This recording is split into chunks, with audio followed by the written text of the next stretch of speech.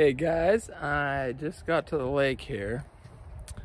Brought my boat, bringing the mattress out. I couldn't carry the, the futon frame by myself.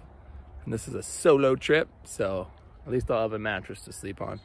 Uh, but I found somebody on the lake who has built a new dock here and they are trying to get rid of these old logs, which are perfect for my boom. So I am going to be towing them away. Do I know how to tow logs in an old dock? I'm taking the dock too, because there's some more logs underneath it, but let's hope we don't have any incidents. I'm gonna do it in two trips because I've been uh, known to be a little overzealous in the past and have things go wrong. So gonna come back for that big dock section because it's a little bit more awkward, but these are two nice 25 foot big daddies here. That'll make a great uh, wave break. So now we just got a little slow road out to the property. So I kind of got to go way out and around through the channel now. It's to be a little bit of a drive. Well, I got a little headwind here, but almost at the cabin. It's been, uh, you know, just braving the weather out here. It's pretty terrible.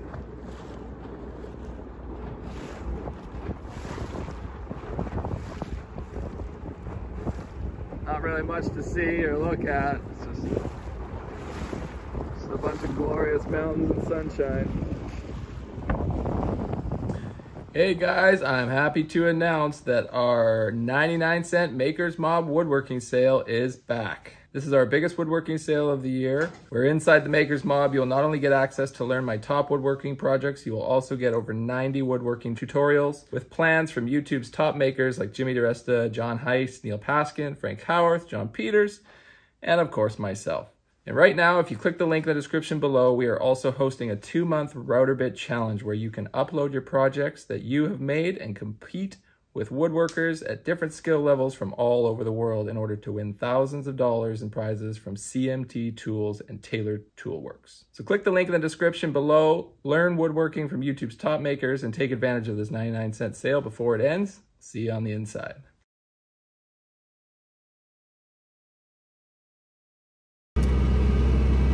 Well, I was having a hell of a time towing this awkward shaped dock, so decided to push it instead.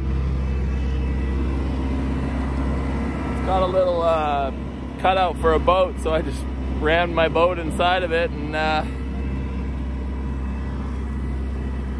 I'm just pushing it. got myself a barge.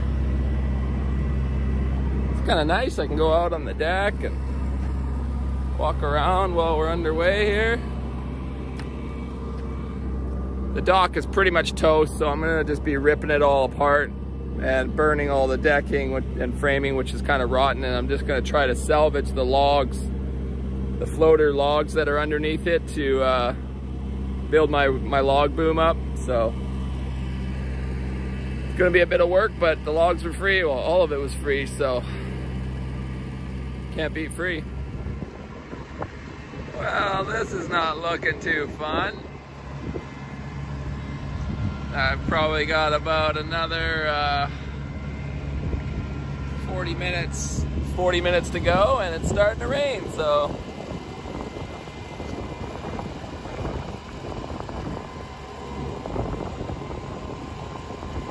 Gotta love the island life.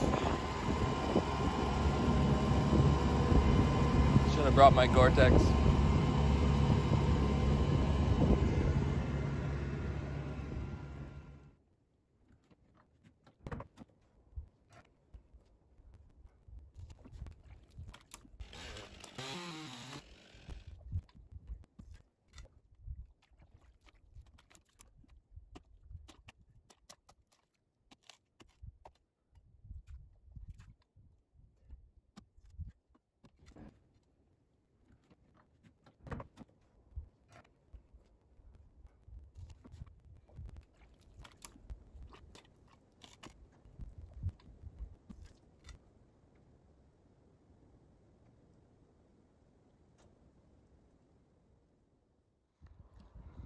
Well, my friends, spring.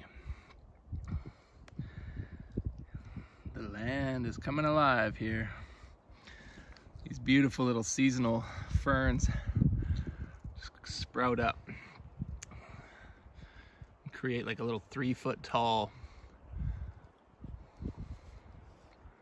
I don't know what you'd call it, bloom.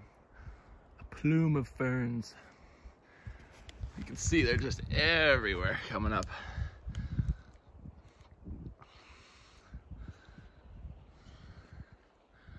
It'll be nice and green here and hopefully that'll, yeah, it's green.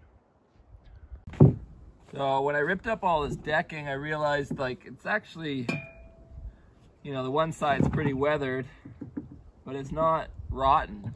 Like it's still intact, one inch decking. And so I thought, you know, I ripped it all off. So should probably use it for something instead of just burning it. That it's pressure treated, so I don't really want to burn it. Um, so I think I'm gonna just denail everything and probably use it for like a tent platform or maybe a little treehouse decking or something like that for the kids.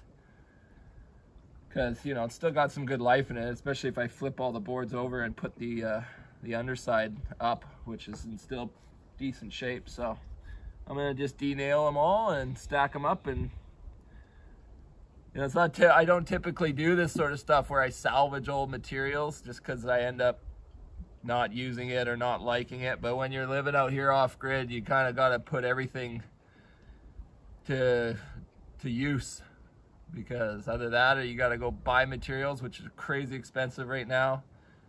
And all the back and forth transporting it, right? So this was free. I got the dock for free on the lake. So let's put everything we can to use. That's my new mentality here.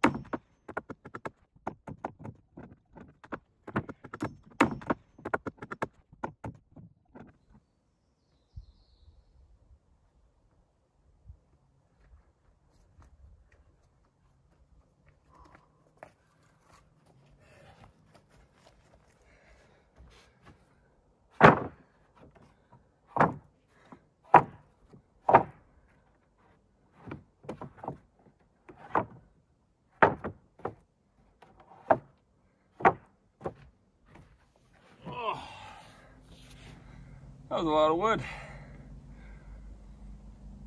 But that should make a perfect uh, deck for a treehouse for the boys. Don't know when I'll build that, but eventually. So now I need to keep ripping apart the dock framing, get those rotten girders all burned up, free up the logs, pull out the big 12 inch Galvy spikes, make sure the logs are all clean, and then I'm gonna plunge holes through each end of the log with the chainsaw. That should be fun in the water so that I can put thread the chain through the log. Because the, the neighbor's log boom, they wrap the chain around the log and put those big uh, U spikes in, but they, uh, they ripped apart in a winter storm. So I'm gonna make sure that I put the chain through the log and link it together with a shackle so that way the log would basically have to rip in half before it would come apart. And the other positive is, that was a whole bunch of work ripping apart this dock. I'm still not even done, but there's 14 barrels underneath that, 55 gallon plastic drums. Um, so I've got 14 barrels now, which are gonna be perfect forms for my anchors for the log boom. So I'm just gonna put a big threaded rod through two of them, fill them with concrete, drop them off. They'll be about 2,200 pounds each, I think, if um, the internet is correct. So that should be plenty to hold the log boom in place. I was gonna do those big highway blocks, but there's just way too much logistics getting them up here and putting them on the boat and all that sort of stuff. So I've got these rain barrels and if I link two of them together, I think that'll be plenty heavy, sink down into the silt. And, uh, and if they're linked together, two side by side, they can't roll and move. Because they'll have a big threaded rod, galvanized threaded rod through both of them. So I got to get this log boom in place here because the winds are starting to pick up now that the weather's getting better.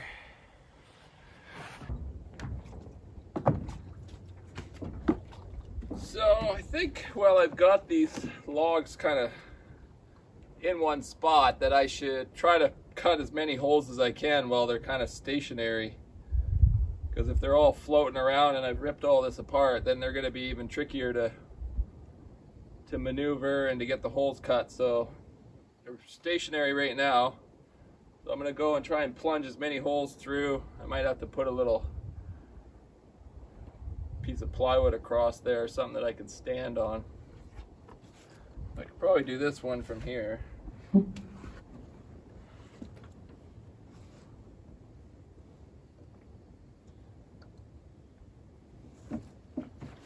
let's give it a shot.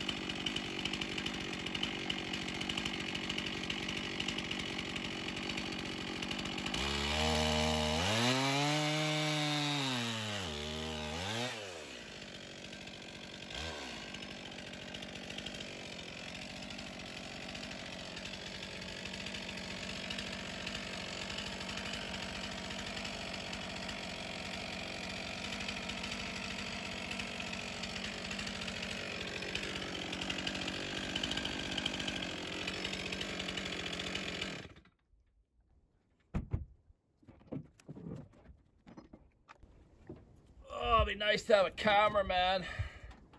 Someone who could hold the log while I cut it. Sure would be nice.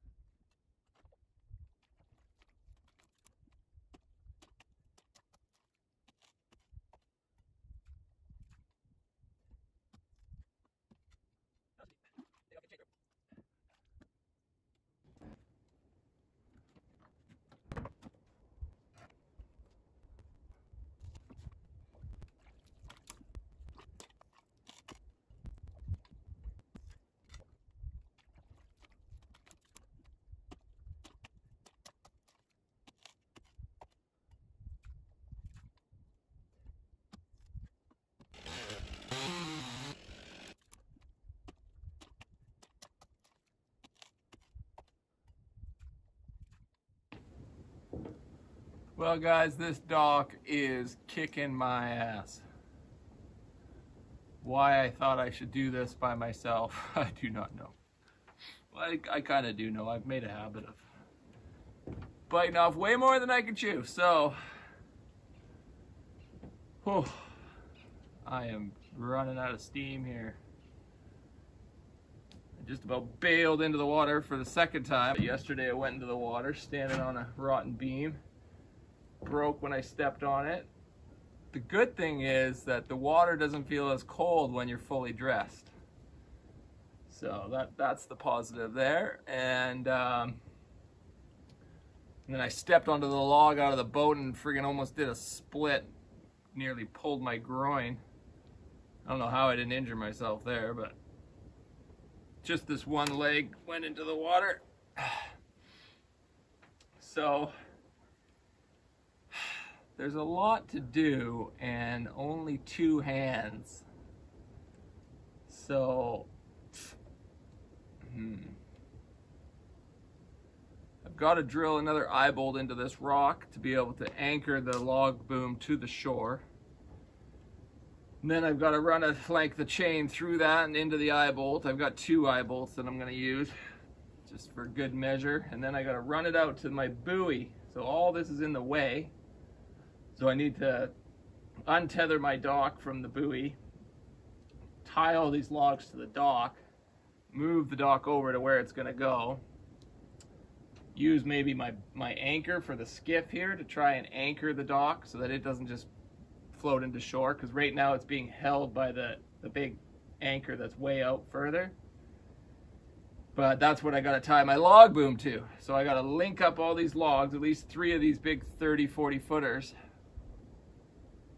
and try and get them out to that anchor point with chain and shackles in water that's freezing cold. I don't want to get in the water. So I have to do this from a boat by myself. A little challenging indeed, but I'm learning a lot.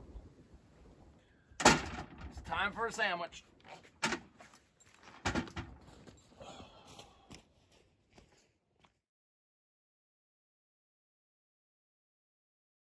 Please make sure to give this video a like and a share and make sure to check out the links in the description box below so you don't miss out on our 99 cent Maker's Mob sale as well as huge savings on all sorts of CMT tools. Till next time guys, Samurai out.